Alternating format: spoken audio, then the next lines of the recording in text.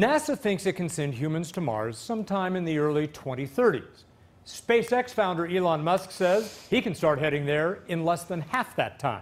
And he's just updated his plan to make that happen. CBS 2's Kara Finnstrom has the story from Hawthorne. That's amazing. Uh, I will. I can't wait to it. Christian Ramirez is excited as Hawthorne neighbor SpaceX wants to make his childhood dream reality. For Mars, you will need local propellant production. It may sound like science fiction, but SpaceX's founder Elon Musk has unveiled plans to colonize Mars. He spoke at a conference in Australia sharing sketches of what he imagines a Mars community would look like.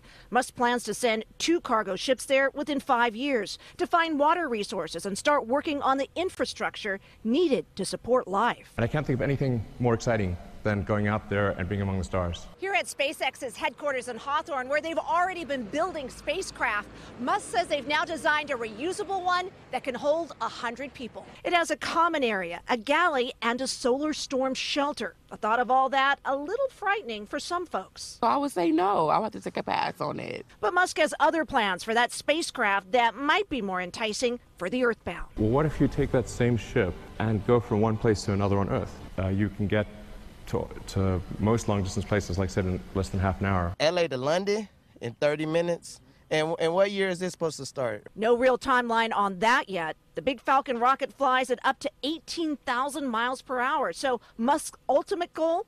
Take people anywhere on this planet at rocket speed for about the same price as an economy airline ticket. From Hawthorne, Kara Finnstrom, CBS 2 News.